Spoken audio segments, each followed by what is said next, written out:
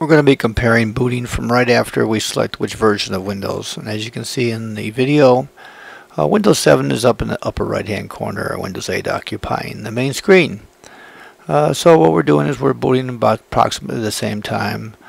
Um, and we'll see that Windows 8 boots and comes up to the login screen much faster uh, than Windows 7. Uh, so there we are coming up now to the login screen. Immediately we can log in. Your name will be up there where it says you. enter your password. Windows 7 is just getting to the password screen.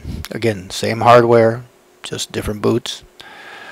Uh, Windows 8 is already up. We can immediately click on Internet Explorer 10 and start to use it. It's not like the operating system still coming up. There comes up Windows uh, 7. We immediately click on IE there.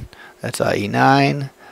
Uh, meanwhile, in IE10, we're already looking at the weather. That's cached a little bit, so we're clicking around on the web to load up some other places, do a few other things.